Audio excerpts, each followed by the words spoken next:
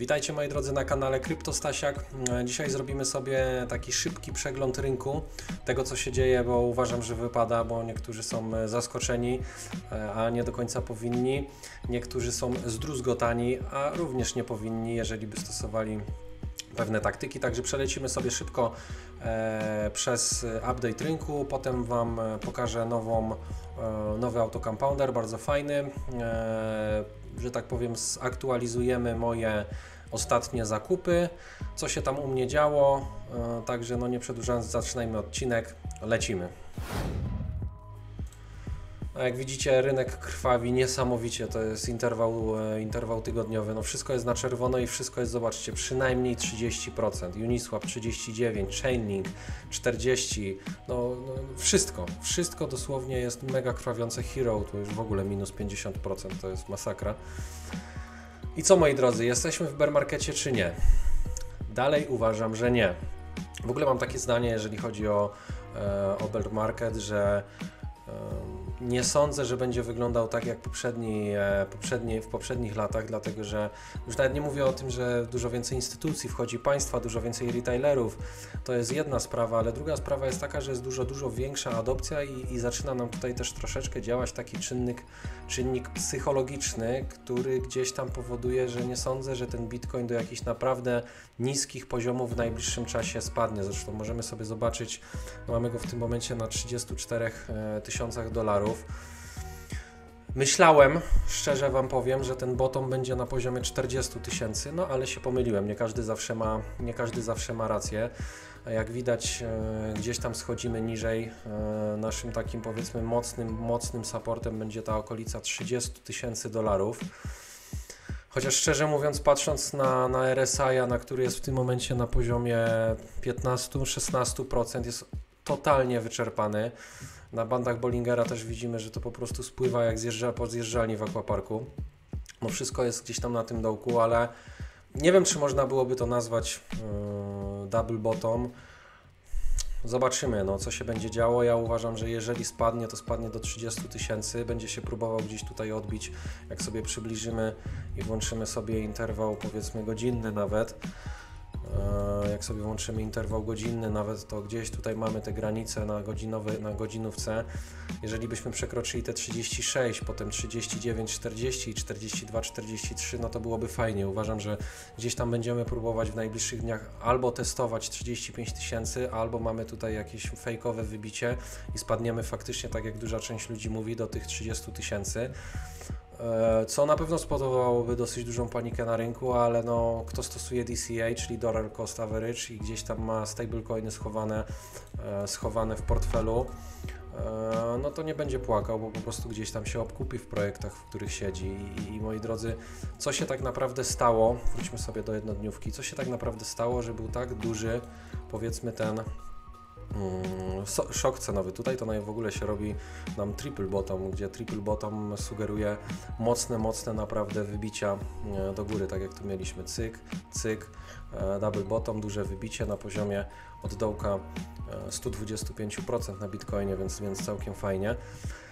Co spowodowało ten niesamowity spadek, który powiedzmy od naszego ostatniego momentu tak naprawdę możemy sobie 26 mm, o w tym miejscu 16 20 16 20 stycznia gdzie mamy tak niesamowicie duży i intensywny spadek na poziomie 21% to jest bardzo dużo jeżeli chodzi o Bitcoina a więc moi drodzy, coś takiego jak e, handel na dźwigni, czyli niesamowita ilość, ponieważ ludzie myśleli, że gdzieś tutaj ten bottom będziemy mieli w okolicach 40, byli zlewarowani na bitcoinie e, w bardzo dużym procencie przy 42 tysiącach. Wiadomo jak jest, no, wieloryby gdzieś tam delikatnie spuściły część swoich bitcoinów cały rynek zareagował na zasadzie FOMO i gdzieś tam tego panic sellingu całego, a wszystkie pozycje, które były na longu, czyli że Bitcoin pójdzie do góry na, na lewarkach, jak możecie sobie zobaczyć, patrzcie, 20, mm, 20 e, styczeń, jak strasznie te pozycje tutaj spadły, to jest ilość zlewarowanych pozycji. Co to, co to spowodowało? No to, że w przeciągu chwili tak naprawdę prawie miliard dolarów gdzieś tam został e, z rynku wyssany, więc e, no nie chciałbym widzieć min tych ludzi, którym te pieniądze gdzieś tam dostali z Binance'a, SMS-a, ponieważ tak to wygląda. Your positions are liquidated, czyli zostały po prostu zlikwidowane, upłynnione i, i po temacie. Także no, dlatego ja na, na, na dźwigniach nie gram, nie polecam kto, każdy robi jak chce, no ale gdzieś tam to jest naprawdę mega, mega e, duże ryzyko. Więc no, sami musicie podjąć tą, podjąć tą e, decyzję. Uważam, że punkt do wejścia na Bitcoina, jeżeli mówimy o DCA, jest całkiem dobry, jak i gdzieś tam rynek altów. Rynek altów bym może gdzieś tam delikatnie przeczekał, jeszcze zobaczył, co się będzie działo, zobaczył na jakieś potwierdzenie ze strony Bitcoina, bo Bitcoin pierwszy, potem cała reszta i wtedy ewentualnie gdzieś można byłoby się, można byłoby gdzieś wchodzić. Jeżeli sobie popatrzymy na Bitcoin funding rate, no to mamy go na naprawdę bardzo niskim poziomie, e, jak na ostatni czas, czyli minus 0,17. E, e, zazwyczaj on sugerował, jeżeli spadaliśmy dosyć nisko, zazwyczaj sugerował za niedługo dosyć mocne odbicia i gdzieś tam w tym momencie, jeżeli na to popatrzymy, jest to dobry moment na, na pewno na zakupy, jeżeli chodzi o Bitcoina. Ja na Bitcoinie nie, osobiście nie siedzę, gdzieś tam mam swoje środki powsadzane w inne kryptowaluty. Mm, no więc mamy wiele wskaźników, które nam to pokazują. Tak, tak, tak naprawdę, jak wejdziecie na Glassnode'a i zobaczycie sobie Person Balance of Exchanges, czyli ile mamy bitcoinów na, na mm, giełdach, no to jeżeli sobie popatrzymy na pik nasz, który był jeżeli popatrzymy sobie gdzieś tam historycznie i tutaj ta część bitcoinów nam po prostu wraca na portfele, no to co to oznacza? Oznacza to to, że raczej wieloryby akumulują, raczej wieloryby, wieloryby będą gdzieś tam trzymać na portfelach, nie zamierzają w najbliższym czasie sprzedawać. Także no zobaczymy tak naprawdę co nam czas pokaże. Złej myśli nie jestem, ale no musimy być cierpliwi, na pewno się nie bać, e, bo jakby nie ma to sensu. Nawet możecie sobie zobaczyć na Twitterze, gdzieś tam ktoś wrzucił e, artykuł z 2014 roku. Bitcoin spadł e, do granicy 400 dolarów, e, czyli ponad 60% w, e, od all time high, czyli najwyższego punktu. Potem mamy w 2018 do 4000, w 2022 do 40. No to tak tutaj ktoś napisał i w sumie się z nim zgadzam. Will fall below 400,000 next. Czyli prawdopodobnie gdzieś tam, gdzieś to kiedyś będziemy się śmiać z tych 40 tysięcy i się stresować, że spadło nam do 400 tysięcy. No, proszę bardzo, piękny e, McDonald pattern, co oznacza, że będziemy głodni, jak nie dokupimy, bo stracimy za niedługo wszystko, jeżeli będziemy grać na dźwigniach, także uważajcie i przestrzegajcie gdzieś tam tego. E, ale wracając gdzieś tam na, na nasz update rynku, Mm, jeżeli sobie zobaczymy na dominację, no to patrzcie co się dzieje. No totalny, totalny, totalny spadek. Tak samo jeżeli wróćmy sobie na chwilę do Fantoma. Phantom, mój ulubiony ekosystem. Co tutaj się dzieje? Ja do Fantoma, tak jak Wam powiedziałem w poprzednim filmie, kupowałem Retriba za 40 tysięcy. Powiedziałem, że dokupię jeszcze Fantoma i tak się e, też stało. Tutaj dla potwierdzenia, gdyby znaleźli się jacyś niedowiarkowie. E, 18 stycznia 2022 Phantom USDT za 2,88 kupiłem za 12 tysięcy USDT, czyli w przeliczeniu 12 tysięcy e, dolarów. I, i, I tak naprawdę zapytacie się mnie, co z tym zrobiłem, czy nie sprzedałem, ponieważ e, no, był taki spadek, czy nie ustawiłem gdzieś tam stop lossa. No nie, dlatego że całego Fantoma, którego zakupiłem, od razu przerzuciłem na tą Finance i kupiłem T-Bonda.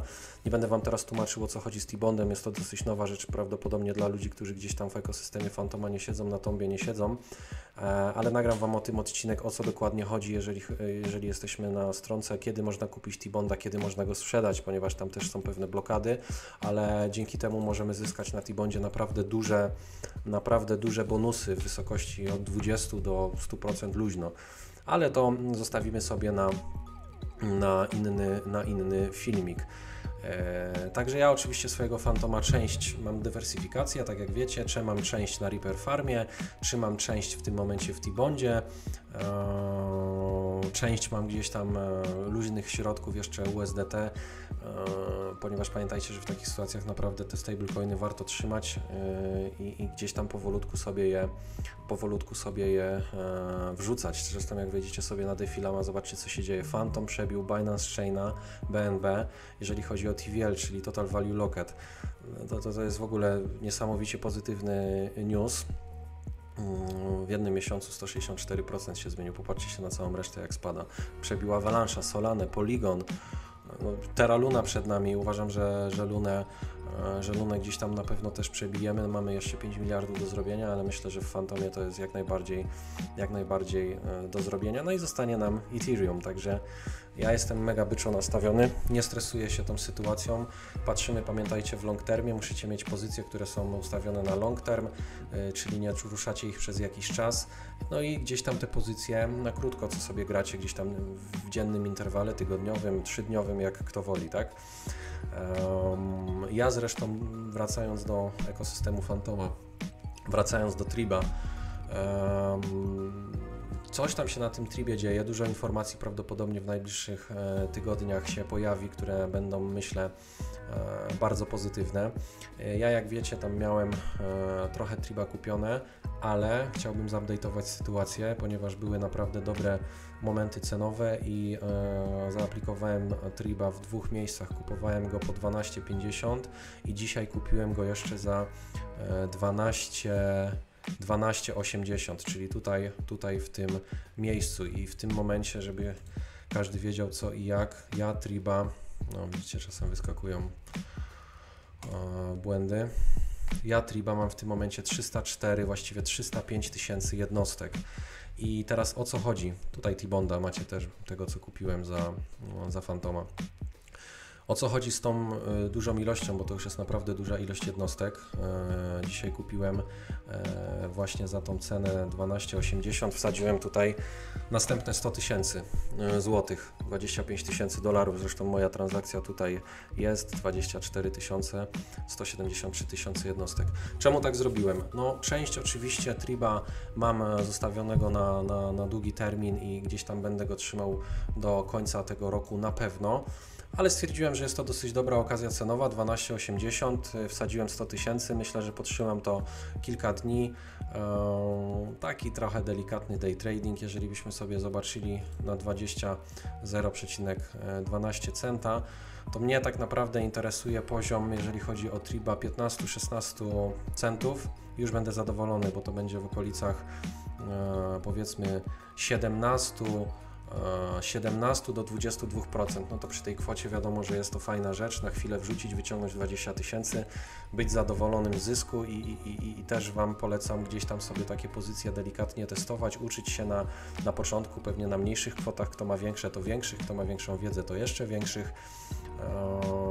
No i, i myślę, że myślę, że będziemy zadowoleni w najbliższym czasie z tego ruchu. Oczywiście pamiętajcie, to wszystko nie jest porada inwestycyjna, jak najbardziej nikogo do tego nie namawiam, a nawet odradzam, ponieważ e, wiadomo, w kryptowalutach możecie wszystko stracić, jeżeli zrobicie to nierozsądnie, więc uważnie, uważnie, powolutku, spokojnie żeby gdzieś tam po prostu się z tym, e, z tym e, nie przekręcić. Także taki jest update rynku, taki jest update moich środków w tym momencie. Myślę, że w przyszłym tygodniu może jeszcze coś dziś dorzucimy, bo ceny są całkiem fajne, więc dorzuciłbym, myślę jeszcze Myślę jeszcze tak, żeby z 30 tysięcy, 20 tysięcy dorzucić pewnie gdzieś na Fantoma i troszeczkę na Triba, żeby mi się tam pozycje wyrównały, jeżeli chodzi o ilość, żeby były zaokrąglone i je zostawimy sobie już do końca roku, tak jak mówiłem, a, a gdzieś tam tą plus minus stówką, czyli 100 tysiącami złotych będziemy sobie działać, będziemy sobie e, grać góra-dół. Będę oczywiście na bieżąco wszystkich informował, gdzieś tam też na moim Twitterze, na którego serdecznie zapraszam. Wchodźcie, e, obserwujcie, ponieważ codziennie wrzucam wrzucam ciekawe informacje. Myślę, że, że, że Wam się to może również przydać. Zresztą tutaj nawet wrzuciłem Możecie sobie zobaczyć wykres e, ilości transakcji Phantom do Ethereum, jak go zaczął przebijać. No, dosyć ciekawe są naprawdę sytuacje na tym ekosystemie, więc, więc obserwujcie. E, następną rzeczą jest Beefy Finance. Jest to nowy taki autocompounder, który gdzieś tam ja sobie obczaiłem i gdzieś tam na nim e, będę powoli pewnie w lutym się bawił. E, sprawdzał, żebyście też sobie zobaczyli jak to, jak to gdzieś tam działa. I tutaj powiem Wam, macie naprawdę bardzo dużo fajnych, bardzo dużo fajnych e, możliwości, więcej niż na Reaperze nawet bym powiedział, bo możecie samego Fantoma e, na przykład autokompoundować na 45% e, w skali, w skali roku. Możecie sobie dać USDT do Fantoma na 131%, więc naprawdę bardzo fajne, bardzo atrakcyjne. Musicie sobie przelecieć, zobaczyć, bo naprawdę jest tych pozycji kilka, kilka fajnych. E, oczywiście pamiętajcie, wchodzicie, łączycie z portfelem, wychodzicie, rozłączacie portfel. Bardzo ważne. E, tak samo jak sobie zobaczycie, jest też jedna fajna nowy, nowa stronka. E, 0xDAO to zostało wypuszczone też przez deweloperów Fantoma. E, bardzo, duża, bardzo duży TVL tutaj również jest na tej stronie. E, zrobię o tym osobny odcinek, jak tutaj działać, ponieważ jest to dosyć ciekawa również rzecz. Dostajemy nagrody, czyli tokeny 0xD, które możemy od razu po otrzymaniu nagrody wrzucić sobie na e, farming tutaj do USDC i mieć 2840% rocznie APR. Oczywiście jest to ryzykowne, bo ta cena jest bardzo gdzieś tam niestabilna, góra dół, góra dół, no ale powiedzmy na miesiąc, jak i tak dostajemy dostajecie nagrody, można sobie gdzieś to tam wrzucić, sprawdzić, jak wygląda sytuacja. Także nagramy sobie odcinki o tym, nagramy sobie odcinek, myślę, w następny odcinek zrobimy o tym, jak działać na Tom Finance, czyli cały cykl, w jaki sposób e, jakby umieszczać tu swoje środki, żeby zarobić, ponieważ tu się nie wrzuca tak jak na Reaperze, wrzucamy i czekamy, tylko jest to trochę bardziej skomplikowane, wrzucamy, odbieramy nagrody, nagrody, które odbieramy, stejkujemy, dostajemy trzeci punkt nagród i robimy takie kółeczko gdzieś tam które nam powoduje, że mamy dużo, dużo więcej e, możliwości zysku. Także moi drodzy, na spokojnie w ogóle się nie przejmujcie jakby sytuacją, która w tym momencie jest. Ja jestem spokojny. Mm, myślę, że gdzieś tam może dotkniemy tych 30 tysięcy, ale nie, nie nastawiałbym się na to jakoś bardzo. Zobaczymy, jak to tak naprawdę będzie. Jeżeli macie jakieś stablecoiny, możecie robić DCA, co ja zrobiłem, ale możecie też zrobić po swojemu, czyli poczekać na to, czy Bitcoin gdzieś tam potwierdzi i będzie szedł znowu z powrotem do góry, czy gdzieś dotknie tego dna 30 tysięcy, czy może nawet mniej, bo wtedy wiadomo, że też te nasze wszystkie alty gdzieś e, polecą polecą sobie e, do dołu, więc będziecie mieli bardzo fajną okazję e, zakupową, zakupową tak naprawdę. Hero jest też rewelacyjnej cenie. Jak ktoś, jak ktoś siedzi w projekcie, ktoś słyszał o tym metaversie, to naprawdę jest to petarda cena, więc, więc sobie możecie e, śmiało obczaić. Moi drodzy, dziękuję Wam bardzo za oglądnięcie tego odcinka, e, szybkiego naszego e, update'u. E, powiem jeszcze raz, nie przejmujcie się tym rynkiem, tym co się w tym momencie dzieje, trzeba do tego podchodzić bardzo zimno, na spokojnie. E, bo gdzieś tam jakieś stresy i emocje powodują złe decyzje, a złe decyzje potem jakby no, są opłakiwane, bo, bo po prostu jak nie wiecie co robić, to najlepiej, żebyście nie robili nic, tylko poczekali, co się stanie z rynkiem, jak zareaguje i, i, i wtedy gdzieś tam podejmować jakieś, mm, jakieś decyzje. Także jeszcze raz serdecznie dziękuję za oglądanie, za poświęcony mi czas. E, komu się podobało, e, subskrybujcie, e, włączajcie dzwoneczek, żeby nie pominąć kolejnego odcinka. Już niedługo wrzucimy nowy odcinek, tak jak mówiłem. Także na spokojnie, odpoczywajcie. Widzimy się za niedługo. Dzięki.